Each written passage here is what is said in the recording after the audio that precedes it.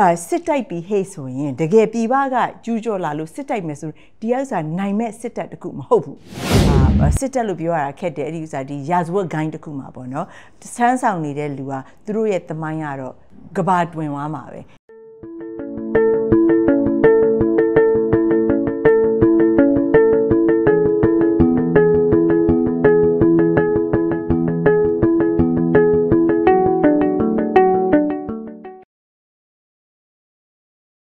အားလုံးပဲမင်္ဂလာပါအဲဒီနေ့ကတော့ဆီယမကြီးမိမိဝင်းဘက်ကိုအာခေါ်ဖိတ်ပြီးတော့အဓိကဆီယမနဲ့ဆွေးနွေးချင်တဲ့အကြောင်းအရာကတော့ဒီမြန်မာနိုင်ငံမှာဒီမင်းအွန်လိုင်းစစ်တပ်ကပေါ့နော် ဟိုသူတို့ဒီရှေ့တန်းထွက်အင်အားများအောင်လို့ဆိုပြီးတော့နောက်တန်းမှာဒီရုံးလုံးတွေလုပ်ဖို့အတွက်အမျိုးသမီးစစ်ဗိုလ်တွေအမျိုးသမီးစစ်သမီးတွေပေါ့နော်အဲကျမလေးလာကြည့်ရတဲ့လောက်ဆိုလို့ရှိရင်တော့ pilot ကအစရှိရေပေါ့နော်အမျိုးသမီး pilot ကအစရှိရယ်ဆိုတော့ဒီအမျိုးသမီးအင်အားတွေကိုသူတို့ချဲ့ထွင်ထားတယ်ဆိုတော့ဆရာမကြီးတွေလည်းအဲ ဒီ US ကအမျိုးသမီးစစ်ဗိုလ်ကြီးတူပဲဆိုတော့ဗောနော်ဒီအမျိုးသမီးစစ်ဗိုလ်တွေရဲ့ responsibility ပေါ့သူတို့ရဲ့ duty တွေကကိုယ်နိုင်ငံတနိုင်ငံအတွက်ဟိုနိုင်ငံတကာနဲ့ချိန်ထိုးပြီးတော့ဗောနော်ဟိုဘာတွေလုပ်ရလဲနောက်ပြီးတော့ကြတော့ဒီနိုင်ငံမှာအခုလိုဖြစ်လာတဲ့အချိန်မှာ defection လောက်တာ အမျိုးသားစစ်ဗိုလ်တွေပဲများတွေ့ရတယ်ပေါ့နော်အမျိုးသမီးစစ်ဗိုလ်တွေအမျိုးသမီးစစ်သမီးတွေကဒီ defection လောက်တာရမ်းနေပေါ့နေတဲ့ခါကျတော့သူတို့ဘာကြောင့်မလောက်ကြတာလဲပေါ့နော်အဲအဲ့ဒါဆီယမကြီးကိုဒီကြုံတုံးလေးပေါ့နေချင်တာပါဟုတ်ဟုတ်ကဲ့ကျေးဇူးတင်ပါတယ်ကျွန်မဖိတ်ခေါ်တဲ့အတွက်အာဒီအမျိုးသမီးစစ်တီတော့အမျိုးသားစစ်တီတော့အတူတူပဲဒါဒါ code of conduct ပေါ့နော်ဒီဥစ္စာ professional uh professionalism လို့ခေါ်လို့ရတာပေါ့နော်အမျိုးသမီးတွေကလဲစစ်တီတော်တယောက်တယောက်ပဲဆိုတော့စစ်တီတော်ရဲ့ကျင့်ဝတ်ကအများအားဒီပြည်သူလူထုကိုကာကွယ်ဖို့နိုင်ဟုတ်ဆိုတော့ uniform ဝတ်လိုက်လို့ဒါစစ်တီတော်ဖြစ်သွားတာမဟုတ်ဘူးတကယ်စစ်တီတော်တယောက်ကဒီကျင့်ဝတ်နဲ့ကိုက်ညီလို့စစ်တီတော်တယောက်เนาะအဲ number 1 number 1เนาะအရေးကြီးဆုံးအဲဗာလဲအဲတာဝန်ကပြည်သူလူထုနဲ့ တိုင်းပြည်ကိုကာကွယ်ဖို့ဆိုအခုအချိန်မှာပြန်ပြီးတော့ကြည့်လိုက်ရင်သူတို့ရှိနေတဲ့သူတို့ဟိုအလုံးတာဝန်ထမ်းဆောင်နေတဲ့အဖွဲကနော်တကယ်စစ်တပ်မဟုတ်တော့ဘူးဟုတ်နော်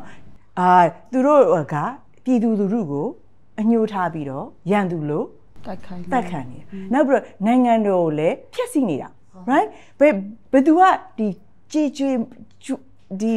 ဒီရွာတွေအာမြို့တွေကိုတခါရဲ့ ဘုံဘုံနဲ့ဖြက်စီးနေတာလေ right အဲ့ဒီဥစ္စာစစ်တပ် right ဆိုတော့နောက်ပြီးပြန်ကြည့်လိုက်လို့ရှိရင်တကယ်တကယ်အာစစ်တိုက်ပြီးဟေ့ဆိုရင်တကယ်ပြည်ပကကျူးကျော်လာလို့စစ်တိုက်မယ်ဆိုဒီဥစ္စာနိုင်မဲ့စစ်တပ်တခုမဟုတ်ဘူးဆိုတော့ပြန်ပြီးတော့စဉ်းစားဖို့လိုတာကเนาะသူတို့စစ်တပ်ထဲကိုဝင်တာကအဲနိုင်အဲဒီဒီပြည်သူတို့ကာကွယ်ဖို့နိုင်ငံတော်ကာကွယ်ဖို့ဝင်တယ်ဆိုရင်เนาะဒီအခုသူတို့လုပ်နေတဲ့အလုပ်က လုံးဝပြောင်းပြန်ဖြစ်နေတယ်ဆိုတော့ you know သူတို့အနေနဲ့ပြန်ပြီးတော့စဉ်းစားဖို့လိုအပ်တယ်ပေါ့နော်အခုချိန်မှာဒီဥစ္စာကိုယ့်ရဲ့သမိုင်းပေါ့နော်ကိုယ့်ရဲ့အာတနေ့အာအာဟိုမြန်မာသမိုင်းမှာ you know ငါကလူဆိုးအနေနဲ့ပြောခံတီမှာလားဟိုနေလူကောင်းအနေနဲ့လူတော်လူကောင်းအနေနဲ့ပေါ့နော်အာဖြစ်သွားမှာလားနောက်ပြီးတော့ကိုယ့်ရဲ့ ပါကမမျိုးဆက်မျိုးဆက်အရာမျိုးဆက်တစ်တွေကကိုယ့်ကိုကိုဒီမှာလှုပ်သွားတဲ့ဥစ္စာကိုရှက်ကြောက်ပြီးတော့တခါမှမပြောရဲမပြောတဲ့လူမျိုးတယောက်ဖြစ်မှာလားအာဟိုဟိုတာဝန်ကြိုက်ကြည်ကြည်နဲ့เนาะတခါတည်းဟိုဗာတယ်ဂုံယူစွာအာပြောပြနိုင်မဲ့ you know အခြေအနေအာအာရှိတော့အရာအခြေအနေဟုတ်မှာလားဗောနော်သူတို့ဒီချိန်မှာရွေးဖို့လိုအပ်လာပြီ ရွေးတဲ့အခါမှာတော်တော်များများအခုဆို CDM လောက်သွားတဲ့ဘူကြီးတွေဘူမူမှုတွေဆိုလို့ရှိရင်အရန်မဲ့လူတွေအရန်လေးစားမှုခံခံယူရတယ်သူတို့ချစ်ခင်မှုတွေရရတယ်ဒါပေမဲ့အခုမှစစ်တပ်မှာရှိနေတဲ့လူကြလူတွေ you know ငါတန်း90အမုန်းခံထိတယ်နေတိုင်းပဲအင်းသူတို့လည်းဒီဥစ္စာနဲ့ပတ်သက်တယ်ဒီမှာတာဝန်ထမ်းဆောင်တဲ့အခါကျတော့အဲ့လိုပဲခံရတာပေါ့နော်ဟုတ်ဆရာမ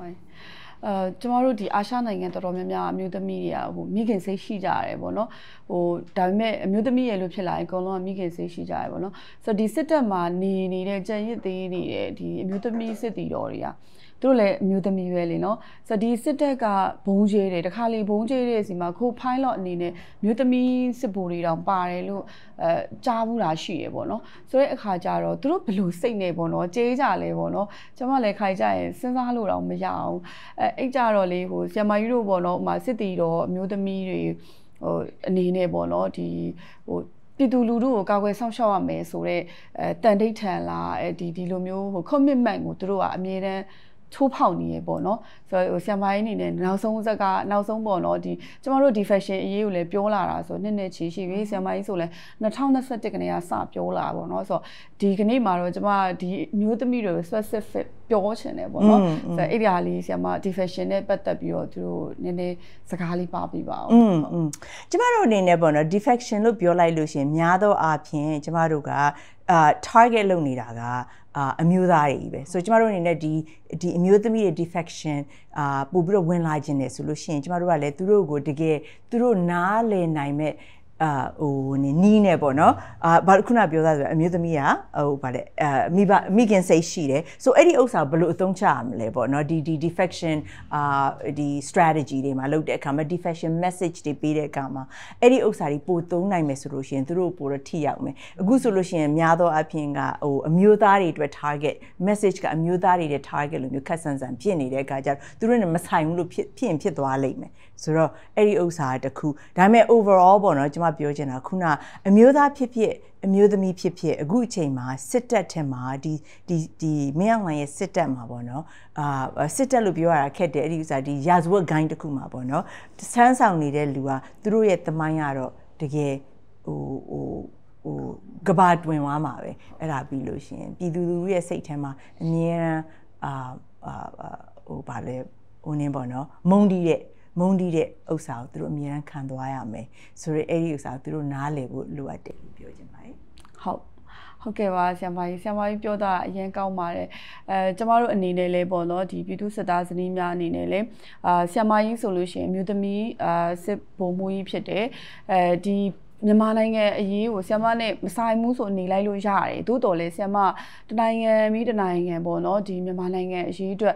နေမအားညမှာလှုပ်ဆောင်နေဆိုတာကျမတို့သိတယ်ပေါ့နော်ဆိုတဲ့အခါကျတော့အမျိုးသမီးစစ်ဖို့ချင်းရှင်အောင်မှာဆီယမကြီးကတမိုင်းမှာဟိုဒါမြန်မာမျိုးသမီးစစ်ဘိုလ်ကြီးအဲဒီစစ်ဘိုလ်မူကြီးပြည်သူအတွက်အဲနိုင်ငံအတွက်လှုပ်ဆောင်ပေးနေပေါ့ဆိုတော့ဒီခုနရာဇဝတ်ဂိုင်းတွေကအမျိုးသမီးတွေအနေနဲ့ရောအမျိုးသမီးစစ်ဘိုလ်တွေအနေနဲ့ရောအဲဒါကို ကိုယ့်ရဲ့ဟိုအနာဂတ်ကိုမိသားစုအနာဂတ်နောက်ဆုံးမိကျမတို့အမျိုးသမီးတယောက်ဖြစ်ရခြင်းဟာတကယ်တော့ဟိုဘယ်လိုပြောမလဲဂုံတက်တည်ရှိတယ်ဆိုရဲနောက်မှာ main ကလေးတွေရဲ့အနောက်မှာအမြင်နဲ့ပါတယ်ပေါ့နော်ဆိုတော့ကိုယ့်ရဲ့ဂုံချက်တည်တွေဘုံချက်တည်တွေကဒီရာဇဝတ်ဂိုင်းထဲမှာအလုံးလုံးနေတဲ့ရွေးတော့အာအမြဲတမ်းဆုံးရှုံးနေဦးမှာဖြစ်တယ်အဲဒါကြောင့်မလို့ဒီကနေ့စကားဝိုင်းကတော့ဒီတက်တွင်းကအမျိုးသမီးစစ်တီတွေအမျိုးသမီးစစ်သမီးတွေ နောက်အမျိုးသမီး pilot တွေပေါ့နော်အဲရှိသမျှတာဝန်ထမ်းဆောင်နေတဲ့အမျိုးသမီးတွေအားလုံးအတွက်ကျမတို့အာဆရာမကြီးနဲ့ကျမနဲ့ဒီ message ကိုပေးခြင်းဖြစ်ပါတယ်အဲအားလုံးကိုကျေးဇူးအများကြီးတင်ပါတယ်ရှင်